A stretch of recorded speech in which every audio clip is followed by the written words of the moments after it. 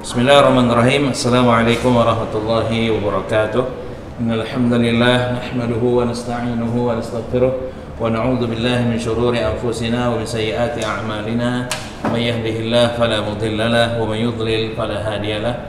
Asyhadu an la ilaha illallah wahdahu la syarika lahu wa asyhadu anna Muhammadan abduhu wa rasuluhu la nabiyya ba'dah ma ba'du. Uh, taib uh, ikhwan fillah kaifa halukum jami'an pagi hari ini kita bersyukur pada Allah yang masih memberikan kita uh, kelapangan waktu dan kesehatan sehingga kita masih dapat bertemu untuk belajar materi balaghah ini walaupun secara online. Ya, salawat dan salam tak lupa kita sampaikan pada junjungan kita Nabi Muhammad sallallahu alaihi wasallam yang telah menyampaikan agama Islam kepada kita dan menyampaikan sunnah-sunnahnya sehingga uh, amalan kita mempunyai kemungkinan besar untuk diterima oleh Allah Subhanahu wa taala tentunya setelah mengikhlaskan niat ibadah tersebut untuk Allah Subhanahu wa taala saja. Baik, um, kita akan melanjutkan pelajaran kita tentang balaghah. Hari ini uh, silakan buka bukunya halaman 11 ya. Judulnya Al-Balaghah Soal sabi' mal maksudu bil balaghati fil lughati wal istilah. Ya, artinya apa yang dimaksud dengan balaghah secara bahasa maupun istilah?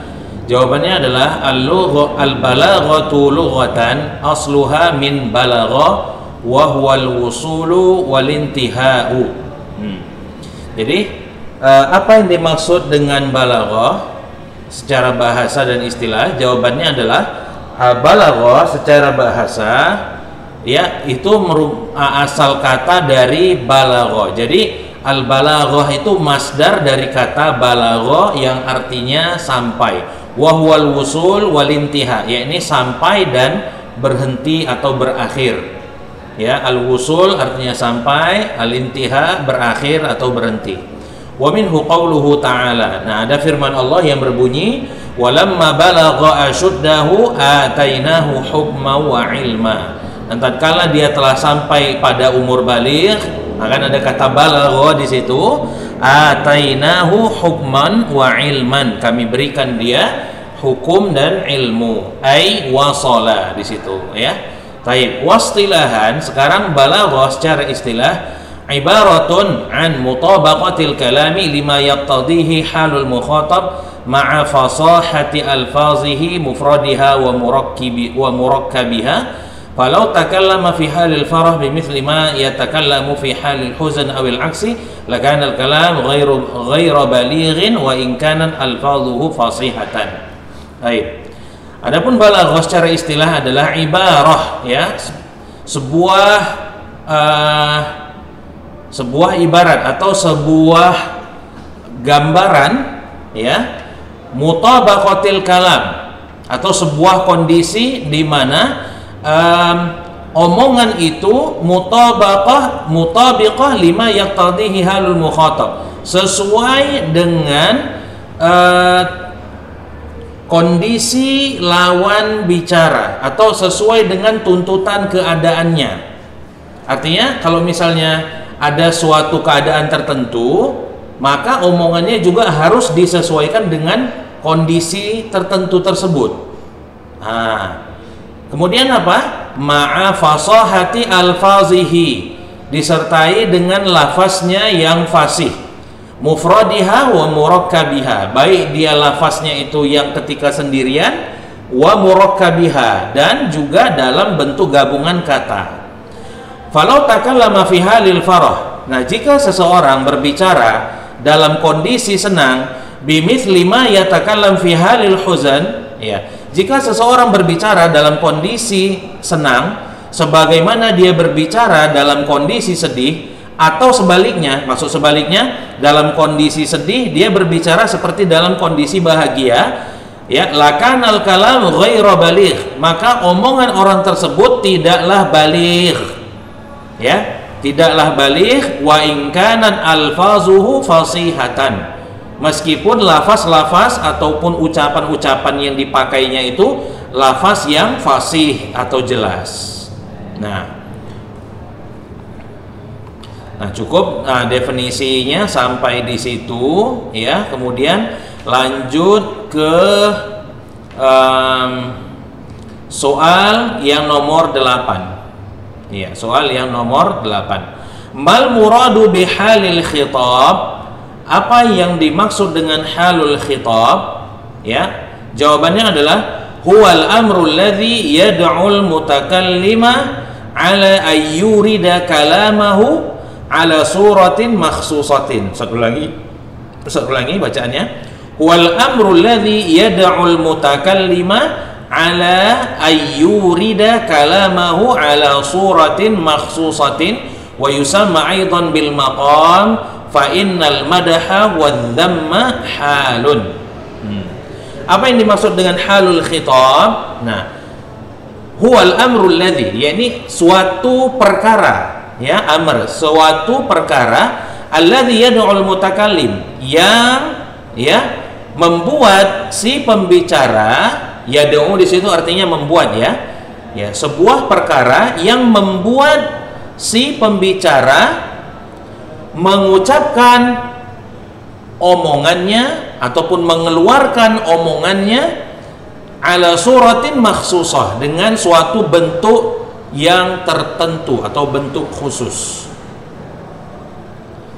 Nah, jadi yang dimaksud dengan halul khitab satu lagi suatu perkara yang membuat si pembicara mengeluarkan omongannya dengan suatu gambaran atau dengan suatu bentuk yang tertentu. Wa yusamma aidan bil maqam. Nah, halul khitab ini nanti bisa sering disebut juga dengan namanya al maqam fa innal madah wa dhamma halun maka sebagai contohnya di sini dibuat oleh penulis pujian dan celaan ini namanya juga hal maksudnya dia halul khitab di situ maksudnya Baik, soal yang kesembilan. Lima sumyal amru da'i li iradil kalam ala wajhin makhsus halan wa maqaman. Ah, ini nggak terlalu pentu, nggak terlalu penting. Afwan ya.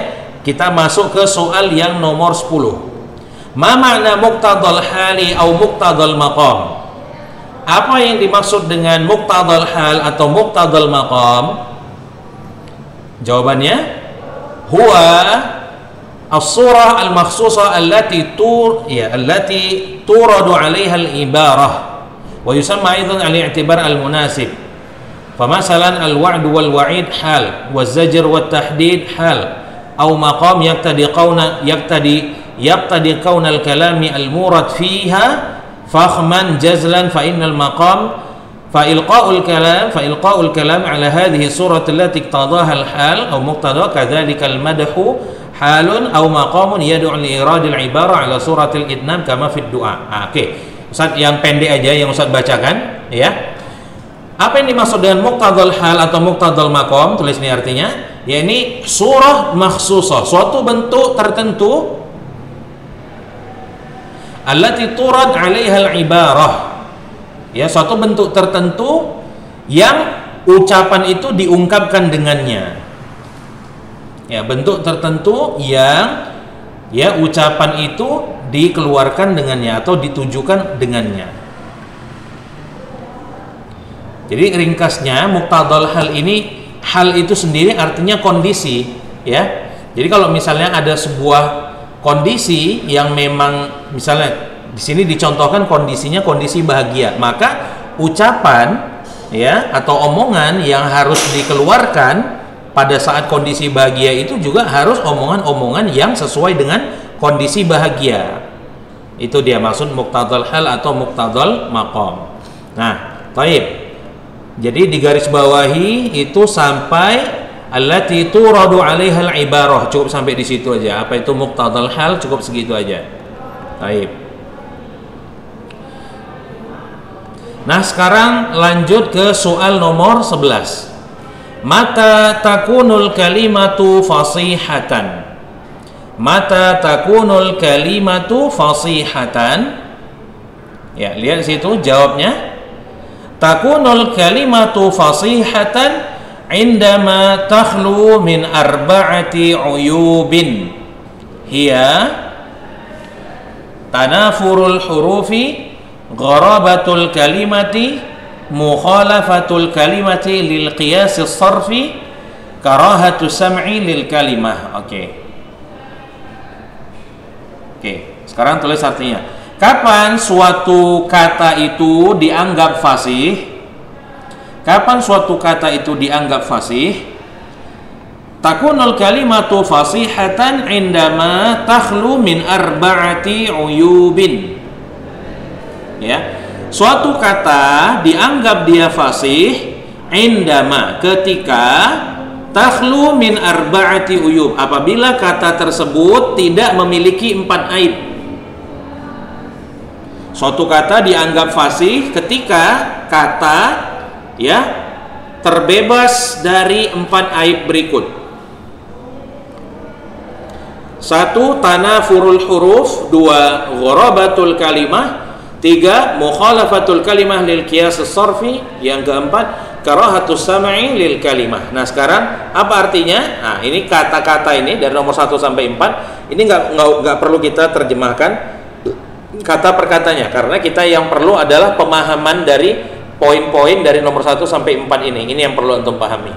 Baik kita masuk ke soal nomor 12 Mal maksudu bi tanafuril huruf. Apa yang dimaksud dengan tanafurul huruf? Nah, lihat di sini.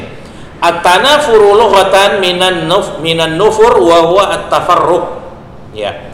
At-tanafur secara bahasa itu dari kata an-nufur. Ya, wa huwa at-tafarruq, yakni artinya berpecah. Ya, artinya berpecah atau berpisah-pisah. Itu arti tanafur. Wafil istilah, adapun secara istilah apa itu? Huwa wasfun yakhillu bi fasahatil kalimah. Ini secara istilah tanafur itu adalah wasfun, suatu sifat. Jadi kalau disebut wasfun itu sama dengan sifatun. Suatu sifat yakhillu bi fasahatil kalimah yang merusak kefasihan sebuah kata. Jadi suatu sifat yang merusak kefasihan sebuah kata. Wasababuhu antakuna hurufu al kalimati ghairu munsajimatin. Wasababuhu antakuna huruful kalimati ghairu munsajimatin fayusabbibu thaqalan 'ala sam'i wa su'ubatan 'ala lisani. Baik. Ya. Kenapa ini bisa terjadi kenapa bisa terjadi tanafurul huruf itu sababuhu sebabnya adalah antakuna huruful kalimah sababnya karena huruf-huruf sebuah kata jadi kan kata itu kan gabungan dari huruf. Kata itu adalah gabungan dari huruf. Nah huruf-huruf pada kata ini ghairu munsajimah tidak selaras. Munsajimah artinya selaras. Fayusabbibu thaqalan ala sam'i sehingga menyebabkan ya rasa berat ketika didengar sehingga menyebabkan rasa berat di pendengaran. Wa su'ubatan 'alal lisan dan sulit mengucapkannya dengan lisan.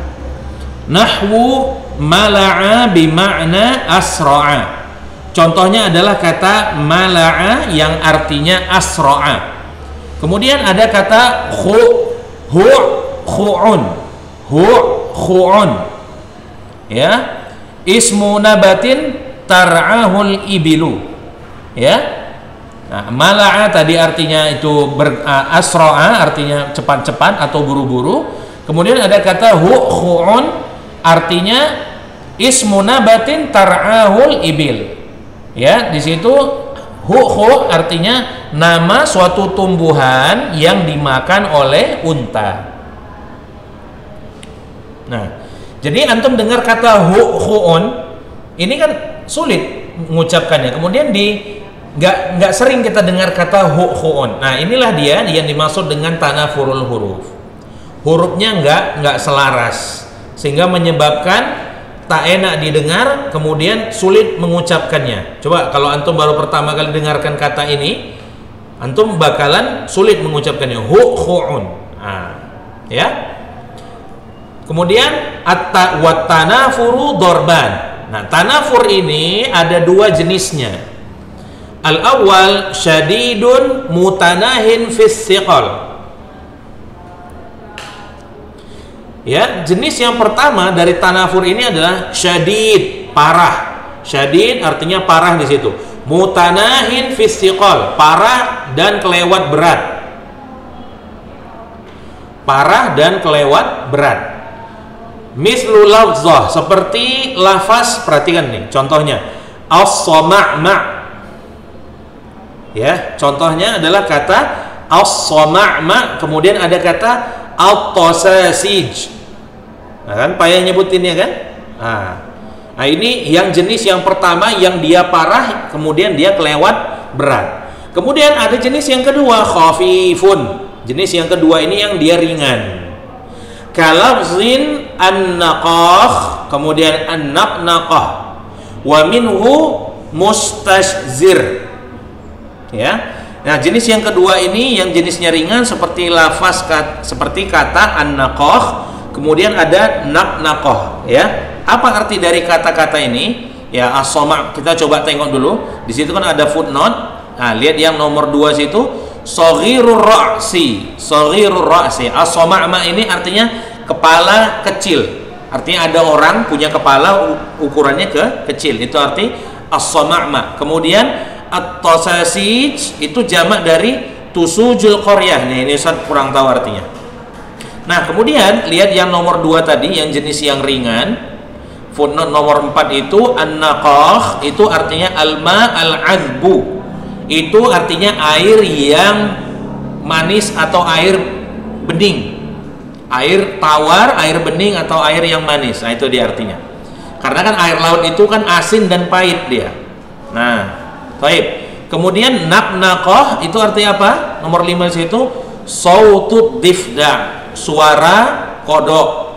Jadi orang Arab menyebutkan kalau kodok ketika hujan itu ada suara kan kalau hujan itu ada suara kodok. Nah orang Arab menyebutkannya nak nakoh. Kenapa bisa gitu?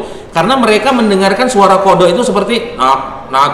Nah, gitu dia. Makanya mereka menyebutnya dengan sebutan nak nakoh. Dan ini pun termasuk jenis yang tanafur, ya, yang hurufnya itu ghairu munsajimah, tak enak didengar walaupun ini jenisnya jenis ri, ringan.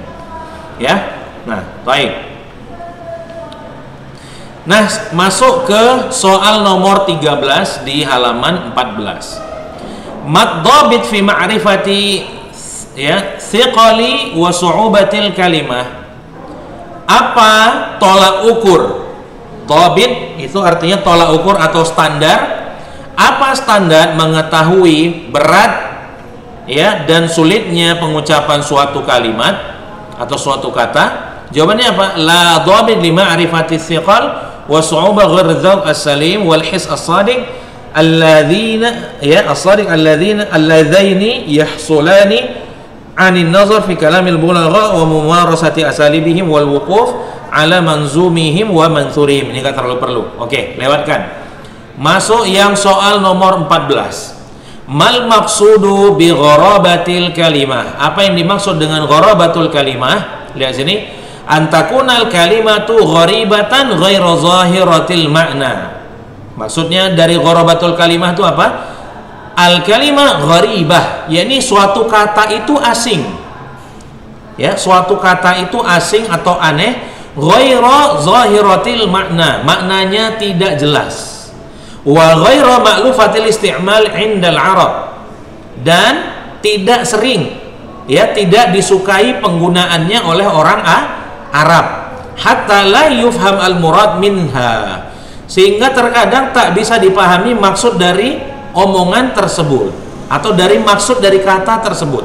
Karena ini pembahasan kita kalimah ya. Jadi jangan keluar-keluar. Pembahasan kita ini masih tentang membahas ka, kata. Nah ini aib-aib pada kata Nah, aib yang kedua ini namanya adalah ghorobatul kalimah. Ya, ghorobatul kalimah itu katanya itu adalah kata yang asing, maknanya nggak jelas, ya, tidak disukai oleh orang Arab penggunaan kata tersebut dan terkadang tidak dipahami maksud dari kata itu apa. Nah, wadzalika lisababaini. Hal ini terjadi karena dua hal ya ahaduhuma istirakul lafzi wa ihtiyajihi ila takhrij ala wajhin ba'idin hatta yufhamal muradu minha yang pertama adalah istirakul lafzi ya istirakul lafzi artinya lafaz tersebut memiliki banyak makna. Itu artinya istirakul lafzi. Lafaz tersebut memiliki banyak makna. Wahtiyajuhu ila takhrij ala wajhin ba'id. Dan kata tersebut perlu untuk dijelaskan kepada makna yang jauh. Dan kata tersebut perlu dijelaskan kepada makna yang jauh. Hatta yufhamal murad minha sampai barulah bisa diketahui maksud dari kata tersebut. Ah. Nah itu yang pertama sebabnya. Contohnya nggak terlalu perlu ya. Ah, oke okay, kalaupun uh, ada contohnya di sini oke okay, Ustaz bacakan juga nggak apa-apa Qala Ru'bah bin Al-Ijaj. Lihat di sini, ini perkataannya. Wa maklatan wa hajiban wa muzjijan atau muzjajan wa fahiman mursinan musarrajan. Fa kalimatu musarraj mustarakul lafaz. Tengok kata musarraj aja di situ. Kata musarraj itu lafaz yang maknanya ambigu, artinya banyak maknanya, bisa dibawa ke mana-mana maknanya Wahwa imma nisbah ila sani'i suyuf wasmuhu suraj ya musarraj ini dia bisa nisbat kepada pembuat pedang yang namanya suraj au minal barik wal lam'an. Atau kata musarraj ini juga bisa artinya itu kilatan dan cahaya. Ah ya. Wal mursin al amfu Sedangkan kata mursinan itu artinya adalah hidung. Nah, jadi maknanya ambigu bisa maknanya ke mana-mana. Ini dia yang dimaksud dengan uh, ghorobatul kalimah di sini. Nah, kemudian sebab kenapa bisa kalimah itu dia dianggap dia ghoribah atau ghorobah ihtiyajul kalimah ila muraja'atil ma'ajim al-lughawiyah. Kata tersebut untuk kita bisa tahu maknanya, kita perlu membuka kamus bahasa. Nah, antum perlu sebuah kata misalnya antum nggak tahu ya karena memang nggak pernah dipakai orang Arab sehingga antum perlu mencari artinya di kamus maka kata tersebut dianggap dia ghoribah masuk dalam ghorobatul kalimah nah, tapi memang kata-kata yang betul-betul orang Arab nggak tahu ya. Artinya mereka perlu buka kamus lagi. Ah itu dia dianggap ghorobatul kalimah. Hmm. Taib. Nah sekarang uh, lihat yang soal nomor 15 di halaman 15 Mal maksudu bimukhalafatil kalimati al-qanuna as-sarfiyah. Apa yang dimaksud dengan mukhalafatul kalimah al-qanun as-sarfi. Oke, ini kalau mau diartikan kira-kira artinya begini. Apa yang dimaksud dengan mukhalafatil kalimah? Ya sebuah kata mukhalif ya melawan atau bertentangan. Al-qanun as-sorfi dengan kaidah sorof. Apa maksudnya di sini? Nah, itu artinya apa yang dimaksud dengan sebuah kata menyelisihi atau berbeda atau melawan kaidah sorof? Itu artinya. Nah itu secara uh, bahasa begitu dia. Tapi maksudnya ini beda ya. Lihat sini. Alla ta'ti al kalimatu al qanun as-sarfi al mustanbati min kalamil arab wa tukhaliful qiyas. Tengok sini. Yakni sebuah kata ya itu menyelisihi aturan ilmu sorof yang diambil dari omongan orang Arab wa tukhaliful qiyas dan menyelisihi kias. Nah, famasalan la yajuzu fakul idghami fi ma lam yusma' anil Arab. Ya sini. Contohnya adalah tidak bolehnya membuka idgham sebuah kata yang tidak pernah kita dengar dari orang Arab. Idgham di sini maksudnya tasdid Nah, kalau nggak tahu sini tulis idgham di sini maksudnya adalah tasdid. Nah, contohnya adalah kata al-ajlal. Tengok di situ. Fa innahu mukhalifun lil qiyas. Kata ajlal ini menyelisihi kias. Nah, kenapa? Wal aslu al ajallu. asal dari kata al-ajlalu yang dalam kurung yang pertama itu asalnya adalah kata al-ajallu ada tasdid pada huruf lamnya nah itu asalnya al-ajallu nah sementara pada bait syair di bawahnya itu nanti ada kata al-ajlal yang kata ajlal ini menyelisihi kaidah sorof kan huruf lamnya jadi dua pada kata ajlal itu. Padahal asalnya adalah al ajallu bil idgham. Tengok di situ. Dengan idgham maksudnya dengan tasdid. Qala abu najam bin qudamah. Tengok di sini bait syairnya ini. Alhamdulillahil aliyyil ajlalil wasi'il fadlil wahubul mujzili. Tengok situ. Segala puji bagi Allah yang maha tinggi yang maha mulia. Itu artinya al ajallu Cuma di sini karena dia ini menyelisihi kaidah sorof, dia bilangnya al ajlal, padahal itu al ajal. Alhamdulillahil aliyil ajlalil wasi'il fadlil wahubil mujzili. Segala puji bagi Allah yang maha tinggi, yang maha mulia, yang fadilahnya itu super luas atau maha luas, yang maha pemberi dan banyak pemberiannya. Hmm, baik. Nah, itu contoh satu aja cukup. Yang penting antum tahu bahwasanya sebuah kata itu menjadi tidak fasih ketika dia menyelisihi kaidah sorof seperti ini tadi. Kata yang harusnya ditasdid malah dihilangkan tasdidnya hurufnya dikembalikan menjadi du, dua. Nah ini menyelisihi kaidah sorof sehingga kata tersebut tidak lagi dianggap fasih. Baik paham ya? Nah kemudian lihat yang soal terakhir yang nomor 16 di halaman 16 mal maksudu bil karohati fis sam'i. Apa yang dimaksud dengan karoha fis sama? Ya. Karoha maksudnya benci tidak suka di pendengaran. Artinya kata tersebut tak enak didengar. Itu maksudnya.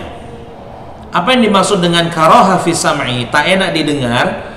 Antakunal kalimah makruhatan ladasami ya ini kata tersebut dibenci oleh pendengar bi antakuna wahsyiyah kata tersebut dianggap kasar. Ta'nufu min hatiba yang ditolak oleh uh, rasa rasa apa ya kalau dibilang dalam bahasa Indonesia? Yang ditolak oleh perasaan manusia. Nah itu aja gampangnya. Tamu juhal asma. Ya pokoknya nggak enak didengar oleh telinga. Kama tamujul aswat al mungkaroh nah contohnya adalah suara-suara yang dia mungkaroh yang tak baik itu arti mungkar tak baik. Contohnya adalah kata al-jirishi. Bimakna an-nafsu. Ya yang artinya adalah jiwa. Nah kalau disebut an-nafsu dalam bahasa Arab itu bukan nafsu dalam bahasa Indonesia. An-nafsu dalam bahasa Arab itu artinya jiwa. Adapun kalau nafsu orang Indonesia itu yang maksudnya keinginan oleh orang Arab sebutannya bukan nafsu, tapi syahwat. Ah, itu dia. Fi qaulil mutanabbi. Nah, itu melihat contoh penggunaan uh, karahatus sama' ini di contoh pada bait syair ini. Mubarakul ismi agharrul laqabi karimul jirishi syarifun nasab. Ah, inilah dia penggunaan al-jirishi. Ini orang Arab nggak suka dengarnya. Ah, kalau orang Arab nggak ah ini kan kita sedang belajar bahasa Arab. Mungkin di telinga kita kata jirishi nggak punya masalah tapi sama orang Arab kata ini nggak enak sama mereka. Namanya bahasa mereka ya suka-suka mereka kan gitu. Baik. Nah sekarang antum lihat di sini al khulasah nih yang sini. Annal kalimah bahwasanya oke okay, bukan anna tapi inna. Innal kalimata idza istamalat ala ahadil umuril arba'ati sabiqah kanat ghaira fasihatan kanat ghaira fasihatin falizaman 'alal fasih ijtinabu hadhil umur. Kesimpulannya apa? Bahwa sebuah kata idza istamalat 'ala ahadil umur al arba'a asabiqah sebuah kata kalau kata tersebut di dalamnya ada empat perkara di atas yang pertama tadi apa? Tanafurul huruf. Kemudian apa lagi tadi? Gharabatul kalimah ya Nah, kemudian mukhalafatul kalimah lil qiyas as-sarfi. Kemudian karahatus sam'i lil kalimah. Kalau sebuah kata mengandung empat aib ini, apa kesimpulannya di buku ini tadi dibilang?